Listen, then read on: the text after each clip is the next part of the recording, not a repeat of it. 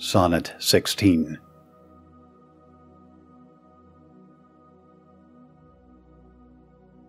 But wherefore do not you a mightier way make war upon this bloody tyrant time, and fortify yourself in your decay with means more blessed than my barren rhyme? Now stand you on the top of happy hours and many maiden gardens yet unset. With virtuous wish would bear your living flowers, much liker than your painted counterfeit. So should the lines of life that life repair, which this time's pencil or my pupil pen neither in inward worth nor outward fair can make you live yourself in eyes of men.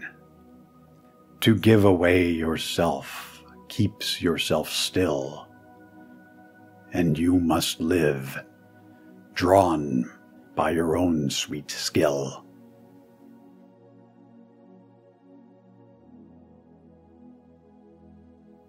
Shakespeare's Sonnet 16 continues the theme of immortalizing the young man, but it shifts back from poetry as a means of preservation to procreation.